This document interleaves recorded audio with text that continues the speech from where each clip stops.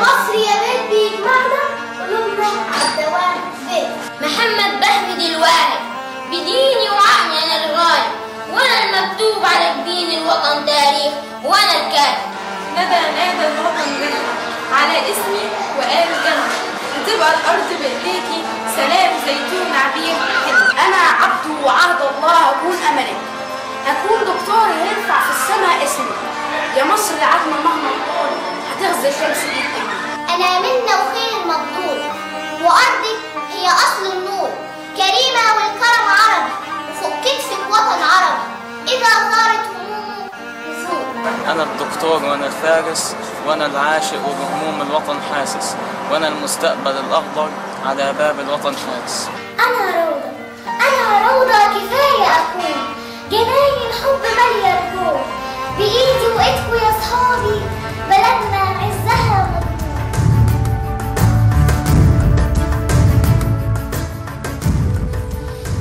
أهلا وسهلا بحضراتكم. دول ضيوفنا النهارده ونجومنا ونجوم المستقبل وأولاد مصر اللي محدش شايفهم. دول الأمل ودول اللي إحنا لازم نحافظ عليهم ونخاف عليهم ونعمل كل حاجة علشانهم وتبقى كويسة. من قفط من قنا العزيزة بيشرفنا أبناء مدرسة قفط الابتدائية والإعدادية والمتفوقين والأوائل واللي شرفونا قبل كده والنهاردة إحنا بنفي بعهدنا. بس دعوني ارحب اولا بفضيلة الدكتور أسامة الأزهري مستضيفنا الدائم.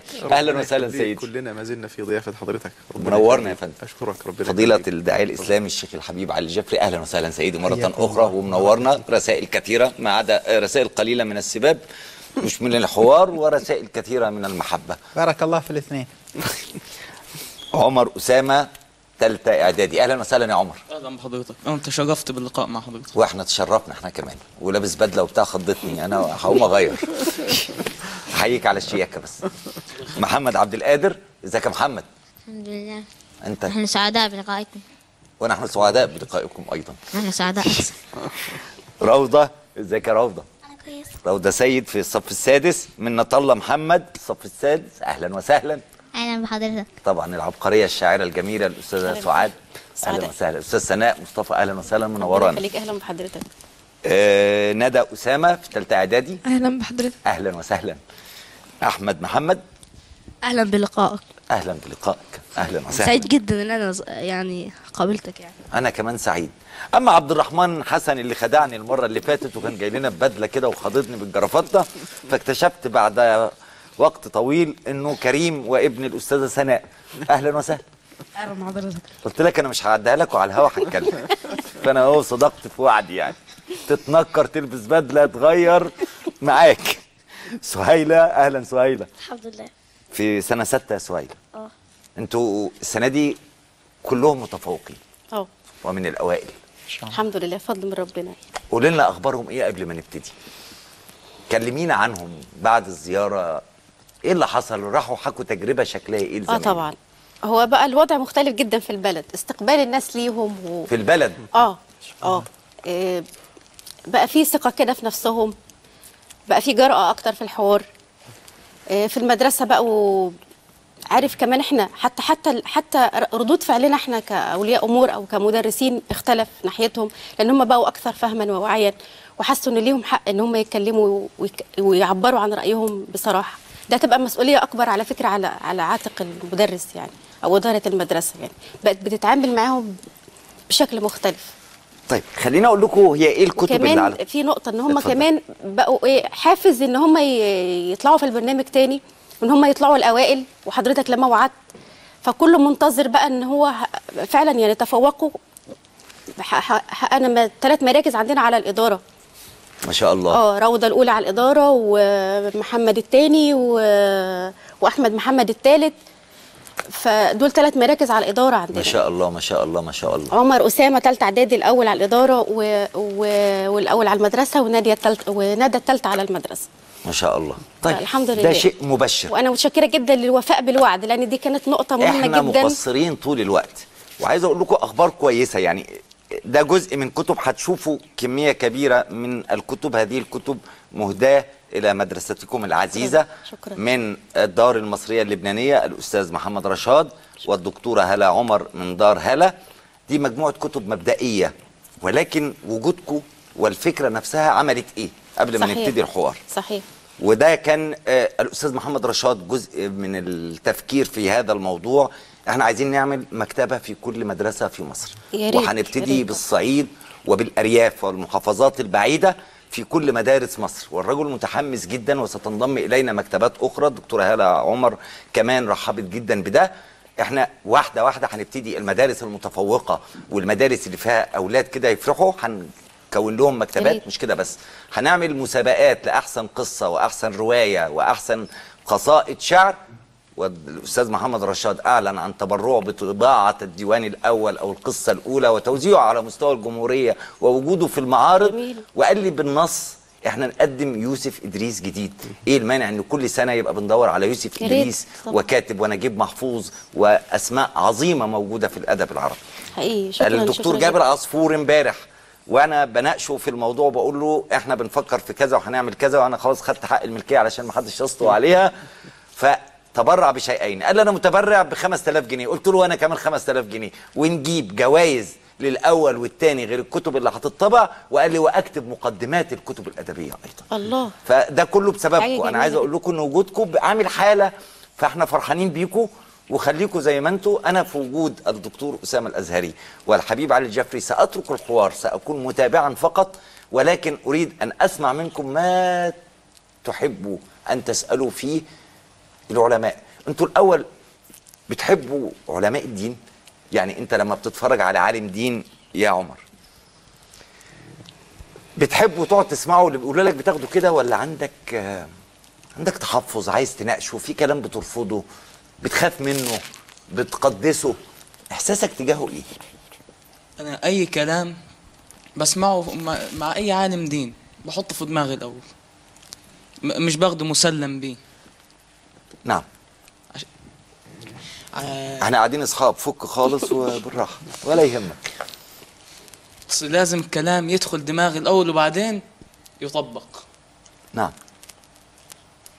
طبعا في بعض العلماء بحترمهم بقدرهم تماما. وبعض العلماء لا تحترمهم؟ م? بحترمهم طبعا. نعم.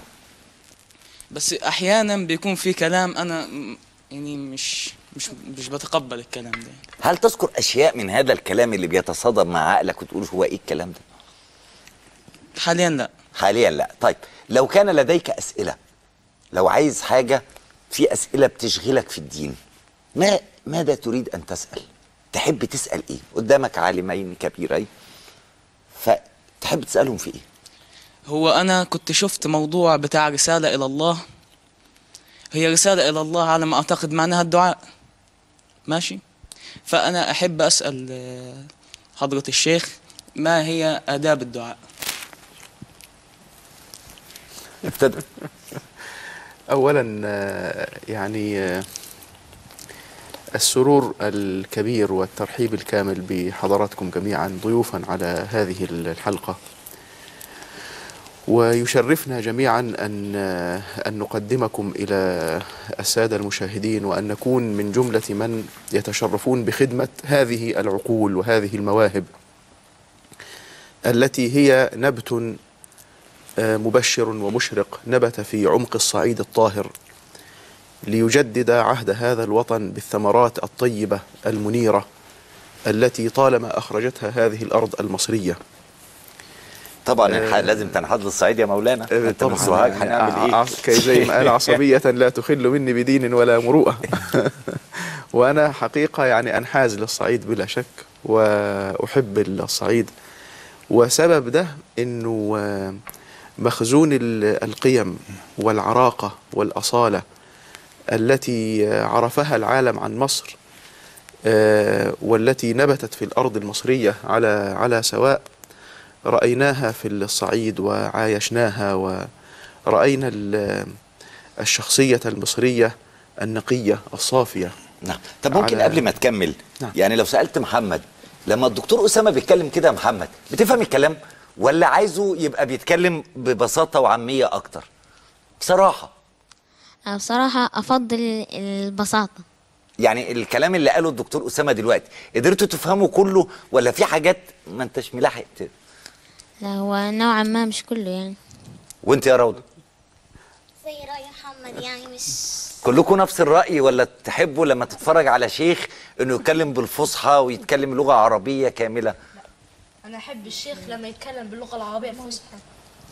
بحب الشيخ لما يتكلم باللغة العربية الفصحى يعني. طيب يعني ده حد, أسلوب لا. تتنافى اللغة العربية الفصحى مع البساطة. حد تاني آه، آه، ليه يحبوا يبقى بلغة عربية فصحى ولا تبقى لغة عامية بسيطة منكم؟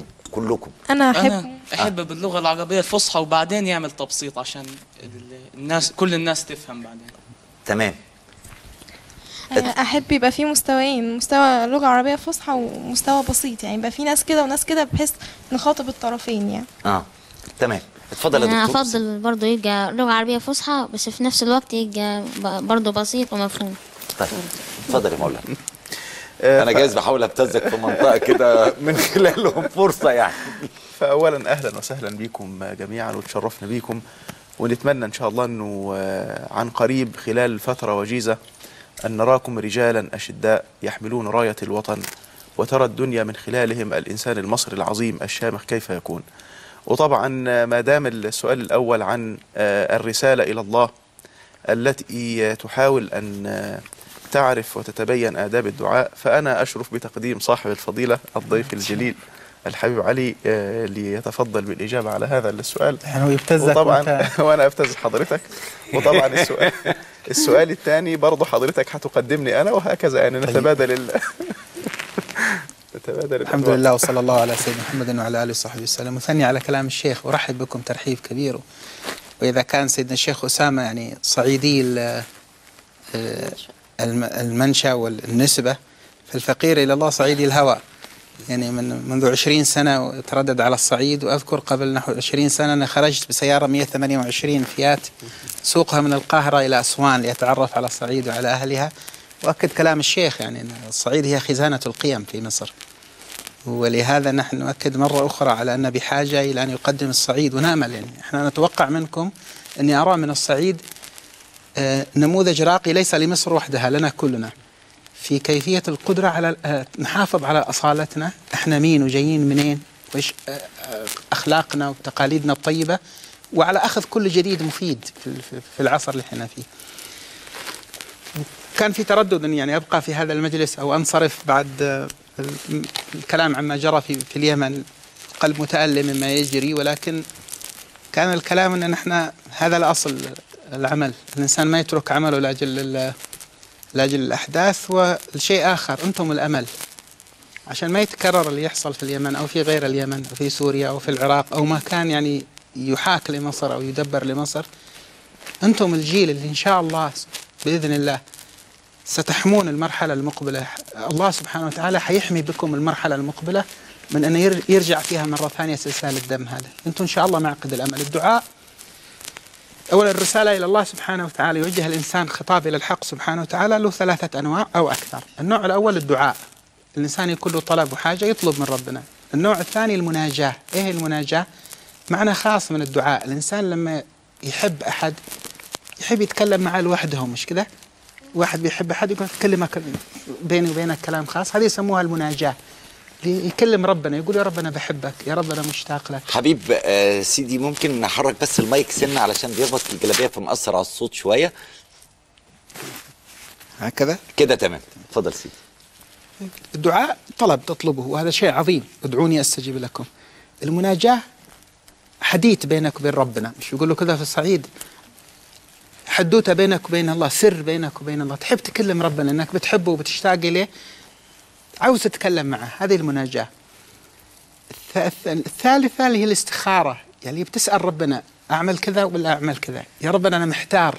درست الموضوع وحللته بس لسه متردد. فتصلي الاستخارة تقول يعني اختار لي ذي ولا ذي يا رب. دعاء سيدنا الشيخ أسامة اللي أشار إليه ال- واللي سألت عليه سيدي عمر اللي هو مسألة ال- الأداب. أول أدب نحتاج إليه في الدعاء أن يكون عندنا آه ثقة. يقين أن أنا بطلب كريم. اللي أنا بطلب منه سبحانه وتعالى كريم وقادر يعطيني. فأنا عندي ثقة في الله أمل. عندي عشم في الله سبحانه وتعالى. المسألة الثانية نقدم بين يدي الدعاء قبل الدعاء أحمد ربنا سبحانه وتعالى وأثني عليه. وصلي على سيدنا النبي صلى الله عليه وسلم. بعد الدعاء أصلي على النبي مرة أخرى وأختم بالحمد لله رب العالمين. الأمر الثالث أن الإنسان لما يدعو الله عز وجل يدعو بطلبات ترضي ربنا. يعني إيه ترضي ربنا؟ يعني ما يجي الإنسان يطلب من الله أهلاك ناس. ما يجي يطلب من الله إنه يعني يخسف أرض يشيلها لا يحاول إنه يكون دعاؤه دعاء بناء مش دعاء هدم دعاء يفرح سيدنا النبي صلى الله عليه وآله وسلم. لما يتقال له فلان من أمتك اذاه فلان فدعا له بالهداية بدل ما يدعي عليه إنه ربنا يهلكه. هذه بعض من من من آداب الدعاء التي ينبغي الواحد منا أن يحرص عليها. وأهم شيء آه، حضور القلب. ادعوا الله أنتم موقنون بالإجابة يعني تدعي ربنا بأي لغة. استطعت تدعو باللغة العربية الفصحى. والله جميل هذه لغة سيدنا النبي والقرآن نزل بها. ادعي بلهجتك اللي أنت متعود عليها. ادعي وأنت ترمي نفسك على الله سبحانه وتعالى. تعال يعني من غير تشبيه لما الواحد ال- الولد الصغير حد يضربه وهو عاوز يبكي بس لأنه صعيدي وجدع مش عاوز الناس تشوفه وهو يبكي يعمل إيه؟ يسكت صح؟ وبعدين لما يروح البيت يشوف أمه قدامه يعمل إيه؟ يجري عليها ويعيط. يجي يعي- يترمي عليها في حجرها ويعيط إحنا الدعاء معناه إن إحنا نرمي روحنا على حجر فضل الله سبحانه وتعالى على عتاب فضل الله عز وجل يمكن سيدنا يعني كان الله يبارك فيكم يا صاحب الفضيلة وكانوا ال- العلماء لما بدأوا يجمعوا الآداب دي وي ويعملوها في في إحصاء علشان تبقى محفوظة يسهل إنها تتحفظ. فالعلماء قالوا هناك عشر أنواع من الآداب ممكن تصاغ في أبيات من الشعر زي ما حضراتكم صغتوا أسماءكم شعرا في آه، ال- الفقرات اللي قدمنا بها قالوا شروط الدعاء المستجاب أتت عشرا. بها بشر الداعي بإفلاح طهارة وصلاة معهما ندم وقت خشوع حضور القلب يا صاحي وحل قوت ولا يدعو بمعصية بل ما يناسب مقرونا بإلحاح. آه، حل القوت أن يأكل من حلال. يا سلام. الإنسان إذا أكل من من حرام لا يرتفع دعاؤه فوق رأسه. وكلما أراد أن يتوجه إلى الله تبارك وتعالى عوامل ارتفاع الدعاء منصة الإطلاق التي ترفع الدعاء إلى السماء لا تعمل متوقفة. آه، ألا يدعو بمعصية كما أشار مولانا هل الجليل يجوز لي أن أعاتب؟ يعني لو هل يجوز عتاب الخالق سبحانه وتعالى آه، في رسالة في خطاب وأنا بصلي؟ هل ممكن أقول له أنا زعلان منك يا ربنا؟ آه، أنا كنت أتمنى تعمل كذا وأنا تعبت وعملت كذا. أنا ليه مات والدي وأنا صغير؟ خدته ليه؟ يعني هل يجوز هذا النوع من العتاب عند الصغار؟ ولا ده بيتجاوز آداب ال- سؤال أو رسالة إلى الله؟ هو آه، الصغير لما بيبدأ آه، علاقته برب العالمين جل جلاله آه، بداية ال- العلاقة بالمولى سبحانه أنها علاقة عبد برب وأنها علاقة ال- الطفل الصغير الذي يبدأ يتعرف إلى أن كل هذا الكون المحيط به نابع من الحكمة نتيجة الحكمة الإلهية. ويترتب عقل ال- الناشئ الصغير الطفل والصبي وكذا على أن هذا الكون أقامه الله تعالى على أساس ال- الإتقان ال- ال- ال- أنه منسق مرتب. أن كل شيء في الكون يقدمه الله تبارك وتعالى أو يؤخره فإنه نابع من عين الرحمة.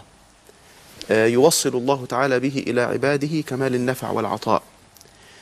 ولذلك ففي فارق ما بين ال- العتاب وبين التدلل على الله. التدلل على الله طمع رجاء آه، حب تعلق أريحية بيحب ربنا. يعني. دلال على الله. بس أنا بسمعها يا مولانا. أنا آسف يا ولاد أنا واخد الكلام منكم. أنا عايزكم أنتوا اللي تقاطعوا وتردوا. يعني بسمع جملة أنا زعلان من ربنا قوي.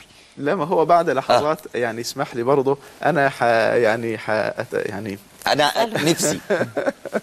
حأنزل إلى إلى إلى إلى شرف الصداقة لو اذنوا لي وأنا اللي حأقاطع وأسأل و أنا خايف يكونوا مخضوضين بس أنتوا مخضوضين؟ اللي مخضوض يرفع إيده. عشان همتحنكم في آخر الحلقة. لا والصعيدي يتخض. طبعا. الصعيدي يتخض. لا طبعا. ما أنتوش مخضوضين. يعني لو الكلام أنتم مختلفين أو عايزين تقولوا رأي تاني هتقولوا مش؟ آه. فعلا. طيب. خلاص. لا هو ما حدش يزعل من الحكيم ما حدش يزعل من العظيم. سبحانه نعم. ما وتعالى. حدش يزعل من ال- من الجليل من الواحد الأحد. إنما بيسأل بيستفهم. زي ما الملائكة قالوا أتجعل فيها من يفسد فيها ويسفك الدماء؟ ونحن نسبح بحمدك ونقدس لك. يا رب يا رب إحنا أهل التسبيح والإنابة والحمد والتقديس. آه، ما تديناش إحنا الشرف ده وتدي لي كائن آخر يسفك الدماء؟ أهو ده شكله كده اللي يسمعه كده شكله شبه ما يكون عتاب. يا رب ليه تسيبني أنا وتعطي آه، الآخر الذي هو يسفك الدماء؟ لكن الله تبارك وتعالى قال إني أعلم ما لا تعلمون. وهم كانوا يسألون سؤال المستفهم عن الحكمة ليس المتمرد كإبليس مثلا. ليس المتمرد نعم. وليس المعاند وليس الذي يخرج عن حد الأدب مع مقام الألوهية. فده هو ده اللي يسمى الدلال مع الله. إنه بيقول لربنا يا رب يعني أنا مش يعني فاهم. يعني أنا أنا عايز أفهم يا رب نفسي أفهم. فهمني يا رب. أنا أنا أنا متأكد إنه في حكمة معينة بس أنا بدور عليها. ساعدني على الوصول إليها يا رب. فارجو أرجو إنه ده يكون يعني طيب. آه، هل حابين نكمل الحوار؟ كل واحد فيكم يطرح ولا تتكلموا؟ لا أنا أنا أقترح إن هم يتك- يتكلموا. نعم. يك- يكملوا. طيب. آه، محمد عايز تسأل في إيه؟ نفسك كده قلت لو قابلت شيخ هقول له طلع من قلبك. لدي أربع أسئلة أساسية. أساسية. والفرع يخليه الحلقة الجاية بقى. اتفضل.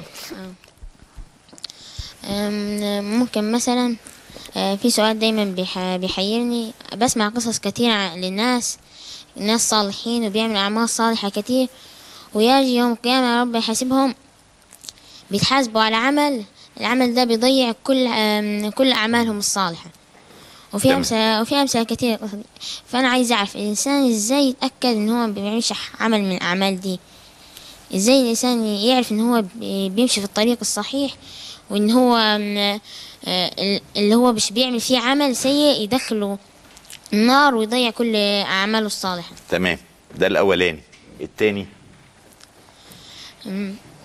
في آية في القرآن في آيتين في القرآن ولولا أنه كان من بسم الله الرحمن ولولا أنه كان من المسبحين لبس في بطنه إلى يوم يبعثون. ده على سيدنا يونس لما الحوت التهمه.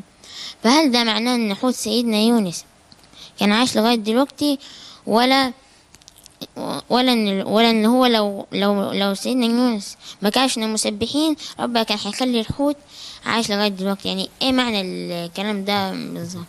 طيب. التالت. هي مثلا يأجوج ومأجوج دول بشر.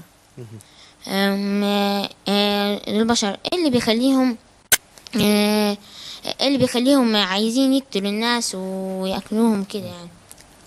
تمام. الرابع. الرابع؟ الرابع. وبعدين في واحد خامس كمان. كمان في واحد خامس. طب خلص الرابع بس. ده ستة ابتدائي انت.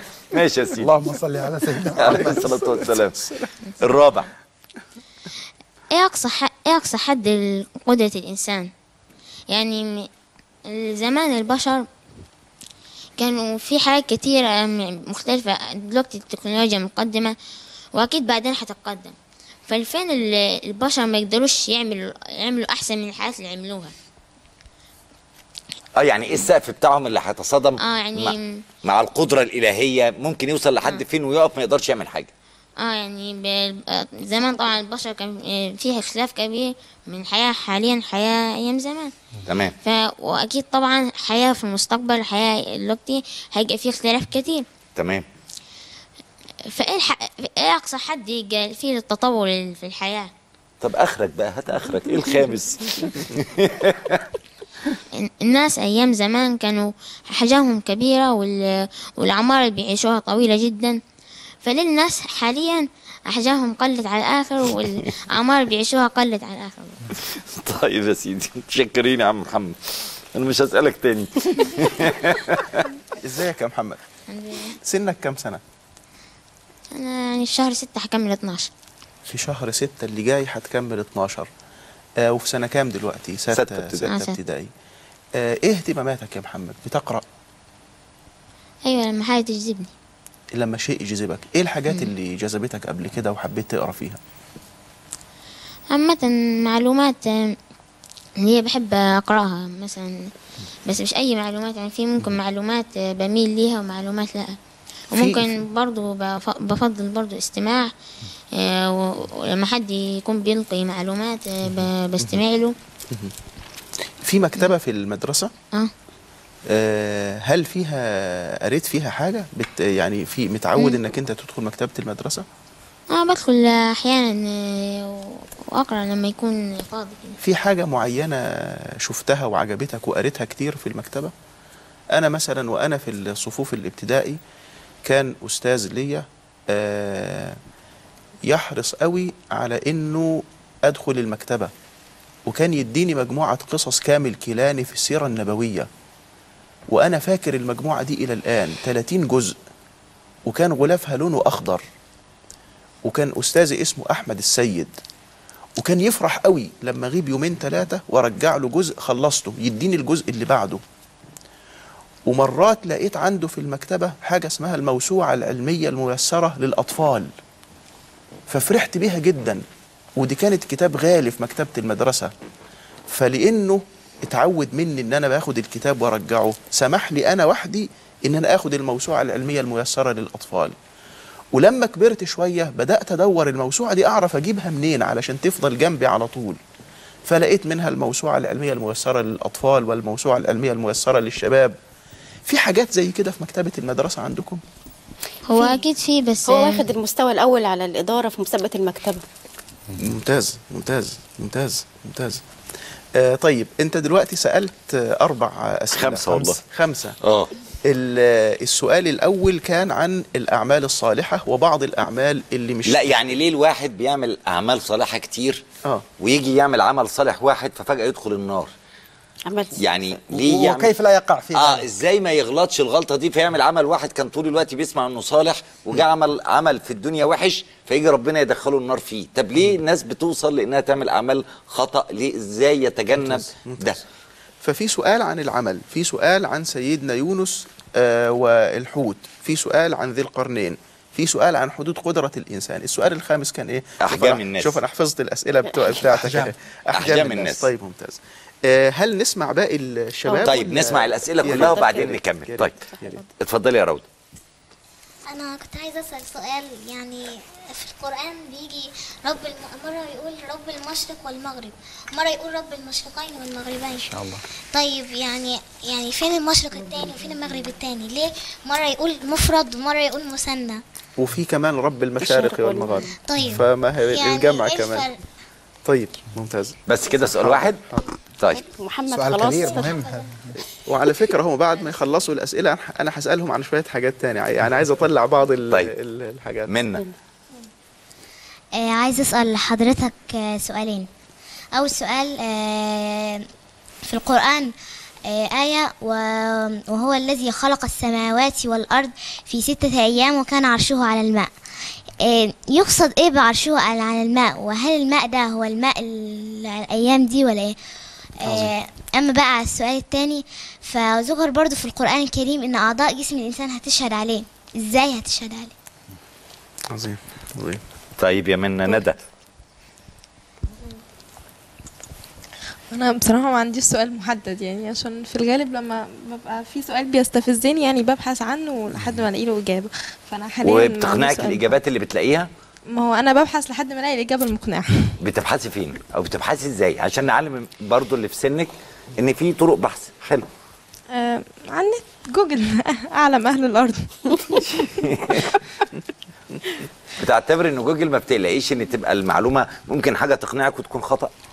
لا ما هو يعني آه، نوع المصادر علشان الحاجة اللي بتفق عليها كذا مصدر هي كده تبقى هي الصح يعني. يعني ما فيش ولا سؤال وجودي أو له علاقة بالخلق أو بربنا أو بالرسل أو بالديانات بيشغلك أو بتتناقش فيه مع أصحابك؟ لا. يعني لو سألتك في أي سؤال هتقدري تجاوبي عليه؟ لا ممكن يكون السؤال ما جاش في بالي قبل كده آه. يعني. طب إيه أكبر سؤال جه في بالك وشغلك وقعدت بذلت جهد كبير لحد ما لقيت له إجابة؟ فكر اعديك شوية. فكري. ماشي. روحي لأحمد. هي عندي ثلاث أسئلة رئيسية. رئيسية برضو. طيب. أول سؤال. ما هي حكمة الله في خلق يأجوج ومأجوج؟ نعم ده السؤال متكرر. تمام. آه، تاني سؤال. وإذ قلنا للملائكة الآية الكريمة اللي بتقول وإذ قلنا للملائكة اسجدوا فسجدوا إلا إبليس. إلا إبليس. الآية دي بتدل إن إن إبليس من الملائكة بس هو مش من الملائكة.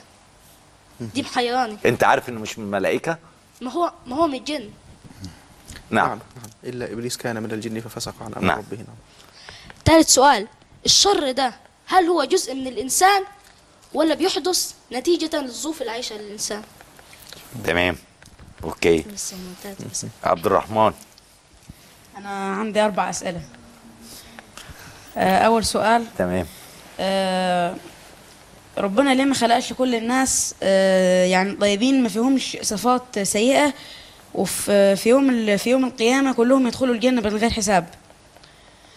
تاني سؤال ال- الأخلاق عند الناس بمرور الزمن إيه السبب اللي خلاها اتغيرت؟ يعني مثلا زمان كان ال- الواحد اللي عنده عبد مثلا العبد ده لو لقي حد مثلا تايه في الطريق أو كده كان ياخده تعال عند بيت سيدي مثلا هأكلك وأشربك.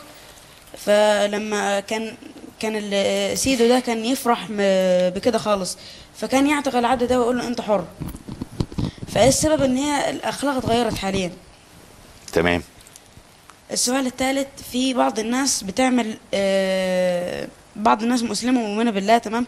ومؤمنة بيوم الحساب برضه بس بالرغم من كده بيعملوا حاجات وحشة أو بيعملوا حاجات سيئة. آه، السؤال الرابع آه، ربنا في بعض الناس ربنا ابتلاها آه، يعني بعيوب خلقية. إيه سبب آه، إيه سبب كده؟ خلقية. ولا خلقية؟ خلقية. يعني جسم؟ خلقية. خلقية. خلقية. أو الابتلاءات عموما يعني. عموما.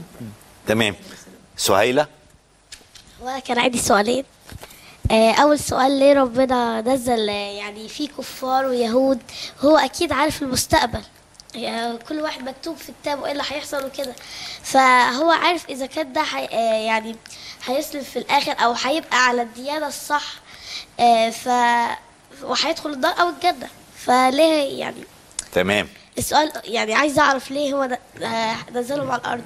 والسؤال التاني يوم القيامة آه، إزاي الناس كلها يعني هترجع تاني؟ مش كله هيبقى هيعيش ويتحاسب هتبقى في شمس صعبة وفي ناس اللي هما كانوا مسلمين جدا آه، هيتحموا بحاجة يعني مش هتخليهم يقرأوا كده. آه، فهو ده السؤالين دي. تمام. طب هتسمحوا لي أطلع فاصل عشان طيب. ناخد وقتنا؟ أسئلتكم حلوة قوي. وعايزين نروح إيه مجمع البحوث الإسلامية؟ ونقعد. ولجنة الفتوى. نلتقي بعد الفاصل.